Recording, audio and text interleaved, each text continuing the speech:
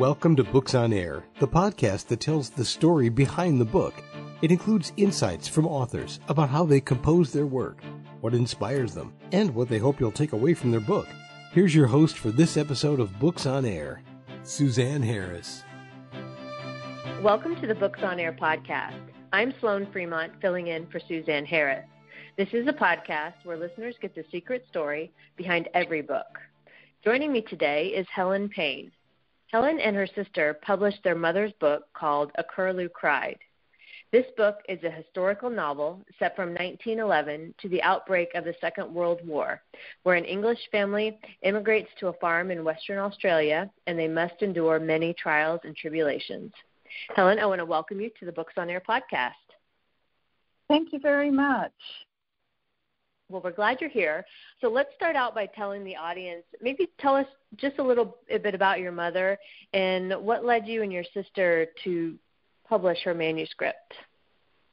Okay. Um, my mother was a, a wonderful woman. Um, she lived on a farm in the wheat belt of Western Australia. She wrote this book about 40 years ago, maybe more than that and my sister did all the typing of it. It was written in longhand. Mm-hmm. And it's basically a story about her family and her life. Uh, we found out so many things about her after she passed. Um, it's like finding this um, manuscript in the filing cabinet, mm-hmm. and was just amazing. And I said to my husband, "Can we publish it? I'd love to publish this book," and we mm-hmm. did and then um, found out so many things about our mother that we didn't know uh, at the time. Yeah.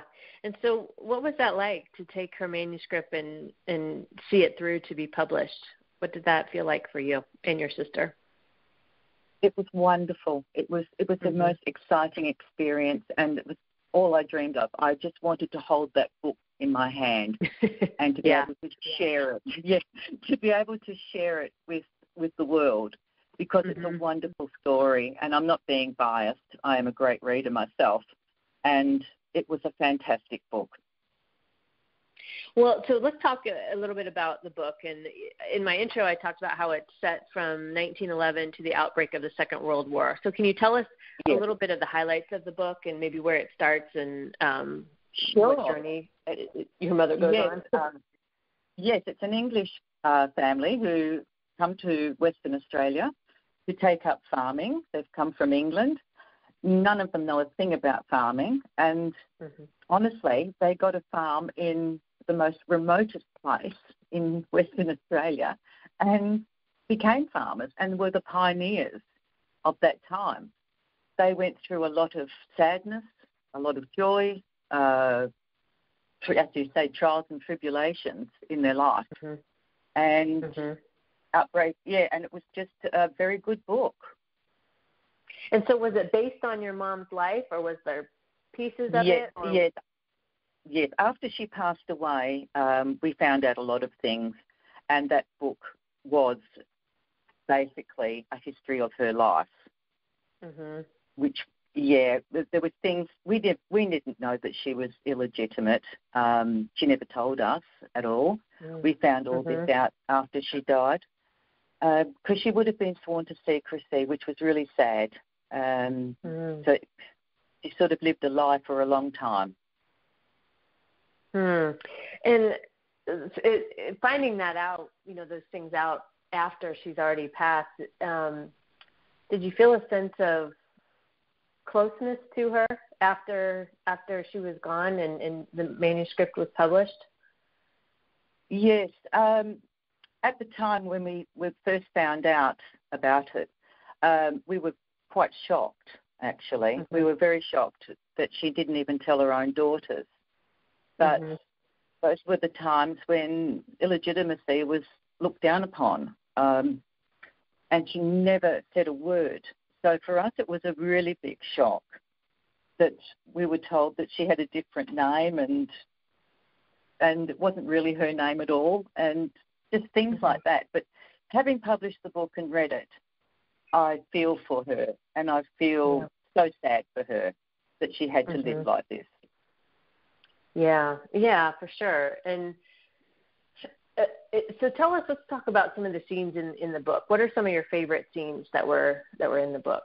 Oh, oh there are so many. As I said, um, this book will take you to every emotion that you have. Mm. Um, mm-hmm. Aunt Maud, who is um, the main main lady's sister in it, will give everyone a laugh, and I can guarantee you that everything that happened in the book happened to this woman. Uh, she uh-huh. should never have stepped foot in in the country at all. she was a disaster, a walking disaster, and but it was true. Everything in it was true. Mm-hmm. Yeah, even though it comes out as fiction, um, because couldn't use uh, true names, of course. Um, right. Sadness, yeah, the sadness of World War One, um, not just for that family, uh, but for everyone around the world who was involved in it. Mm-hmm. Um, mm-hmm.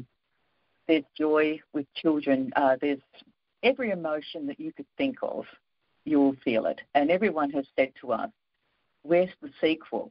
We need a sequel. Oh. We just love it. You can't leave us like this." yeah, yeah. Well, and so it, the title is A Curlew Cried. What's a curlew? It's a bird. It's a, a, a bird um, that's found or was found in the wheat belt of Western Australia, and it had a cry. It sounded like a, a person screaming, and it was oh. sort of ah. supposed to be an omen of bad luck if you mm-hmm. heard it. Um, mm-hmm. I think now, they're, yeah, they're just about extinct now. I don't think there's many left at all. But that's what oh. it was when mum when my mother lived there. Uh huh. Interesting. I I live in the U.S., so I I wasn't familiar with that bird. Um, no, that's that's that's fine. That's yeah. As I said, they're not they're not there's not many around anymore. Mhm. Mhm. So you took your mom's manuscript, and had you read it prior? Like, did did you know she had been working on it like when you were growing up, or oh, was it? Oh yes, yes. She was writing it, um, as I said, about forty years ago, if not more. Um, and that I was probably too young to care. And yeah. she wrote. I didn't really know what she was writing about, but she did write it, and she got my sister to type it on an old typewriter. Um, mm-hmm. And poor Janet must have typed, I don't know, thousands of pages over time. and yeah, so it was a big book. It was, you know, it was a fantastic book. Mhm. And was it published as she wrote it, or did you both? Did you no, make any? No. It, the manuscript, um, when it was finished, got put away, um, got put into a mm-hmm. bag, and my mum, before she died, she came to live with us. Um, so all her stuff came with her, and mm-hmm. I put must have put this manuscript in the filing cabinet, and mm. I went to wean it out, and found this bag with this book in it, um, mm-hmm. just typewritten, all in a mess, all over the place. And I thought, oh, that's Mum's book. You know, it's been sitting there for like 40 years. And I thought, I asked Janet, I said, shall we publish it? So, you know, mm-hmm. I'd love to do that for her in a tribute to Mum. Mm-hmm. And all the, yeah. yeah, and all the pioneers. Yeah. And it's amazing that you still had it because you know how over the years, you know, when you move things and people move mm. and things get shuffled around, it's amazing that that you still had it too, and you you ran across it. Oh, definitely, definitely. Um, I think it was something from heaven told us, you know, yeah. to do it. Yeah. Um, the papers, yeah. there was a couple of pages missing, which we got round and fixed up. Um, it was in a bit of a mess, but we fixed it up and sent it for publishing, and here we go. And it's published. Yeah. And I yeah. hope well, everyone enjoys it. Yes, mm-hmm. I, I, really hope yeah. everyone enjoys it, and, and I'd love some feedback on it. If oh, I'd love to know what people think of it. Right. Yeah. So let's talk a little bit more about the book. What What are some words or themes that you would use to describe it? Oh, historical, mm-hmm. Australian history, historical, uh, goodness, funny. It's very funny. Mm-hmm. Yes, very humorous. it's very sad in places, Mm. and I can guarantee you will you will laugh and you will cry in it. yeah, that makes the you know all the take you through the roller coaster of emotions is always makes for the best Yeah. book. yes, and um, you know it had me crying, it had me Mhm. laughing, um, Mhm. it had my my daughter crying and laughing, and it Mhm. wouldn't have been a book that she would have probably read, but she Mhm. did, and she absolutely loved it. Wow, it's amazing. What surprised you the most publishing the book? Was there anything that stood out to you, or maybe that you felt like um, you weren't expecting in that process? How hard it was to publish. Uh, yeah. oh my goodness! Oh, oh, it was it was a trial actually. Yeah, I don't think I could go Mhm. through that again. yeah, yeah, just trying to find the publisher and, and get that all ironed out with um Yeah, I've never published a yeah. book, so I don't know what the process is. oh, there's so much paperwork that, that's involved in it, and Mhm. um, you, you're forever signing things and sending them off, and um, you know, and it's um, it's quite expensive to do it, but it was a Mhm. tribute to Mum, and we were fortunate enough to be able to do that. Mhm. And I hope wherever she is in the great universe that she's looking down and she's proud of us for doing it. Mhm. Yeah. Yeah, and like you said, such a great tribute to her story and um you know all the effort she put in and it's that that Yes. um that memory goes on right it it lives on it's just um Yes. i love that and Yes. what would you say sets this book apart from other books It's facts, I think. It's facts. It's and it's very, very well written. Um, Mum knew all about farming. She knew everything about farming. Um, so it's very factual. Her even though it's a work of fiction. yeah, even though it's a work of fiction, it's very factual, mhm and it sets it apart because of the characters Mhm. in it. mhm Yeah, yeah, yeah. That would definitely be it. yeah and who would you say the book would appeal to and why Well, I'd say it would appeal to anyone who read it. Really, that's that's how I feel. Mm. Because everyone we know who's read it, different age groups, different people, um, have absolutely loved it. And I think, I don't know, really. I probably, Adults to older. yeah, adult to older people Yeah. uh, would love Mhm. it. Well, it's more. Yeah, and anyone who wants to know like the history of uh, Western Australia from that Mhm. era, I, I think they would Mhm. really, really love it. And as I yeah said, well and it sounds very yeah it sounds like she was really able to tell a good story about you know yeah, what was happening during that time definitely, definitely, she lived Mhm. it and she knew exactly what was going on. Yes.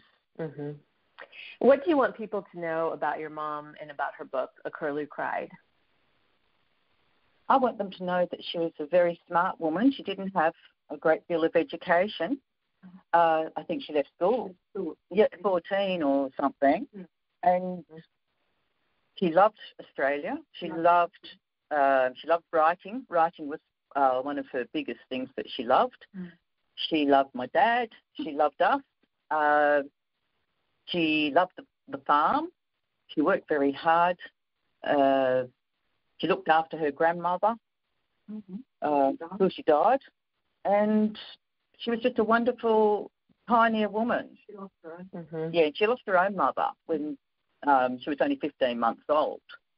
oh wow So, yeah, so it was it was a tough tough life, you know. hmm Yeah, well, and she sounds like like a, just an amazing person, and I'm um, I love hearing that you know you took the manuscript and you guys got it published, and now the story lives on. Yes, yes, it's there now forever, and Mhm. that's that was my greatest wish was just to hold that book Mhm. in my hands. Yeah, Um, yeah, yeah, yes. I'm sure that that feeling was amazing. Nothing like that when you see that something Oh, like that. it was. through. It, Mhm. it was. It was. It was just such a great feeling to have it Yeah. published. Well, Helen, it's been a great conversation with you. I loved hearing about your mom. I loved hearing the story. I loved hearing that you guys took this and, and got it published so it could live on. And I want to thank you for joining us today. Um, before we close out, what do you hope the readers learn or take away after reading this book? I hope they take away how life was back then, Mm-hmm. uh, where it was hard. Hard It was hard, but they still found happiness. They could still laugh. They could still have a joke. Um, Mm-hmm. And yeah, just just I hope they take away every emotion actually, and Mhm. realise what life was, Mm. and how lucky Yeah. they are to live in this day and age. Yeah. yes, for sure. Well, Helen, again, I want to thank you for joining us. It's been amazing to talk to you. And um, Thank you. th- you're welcome. You're welcome. Um, you can find more about the book, A Curlew Cried, on Amazon, and I'll link to the book in the show notes, so be sure to check that out. You've been listening to the Books on Air podcast, brought to you on webtalkradio.net. You can also hear this podcast on Spotify, iHeartRadio, Stitcher, and Apple Podcasts. I'm Sloan Fremont, and I hope you'll join us for the next Books on Air podcast. Remember, you never know who's going to be here, and you never know what we're going to talk about. Thank you so much for listening.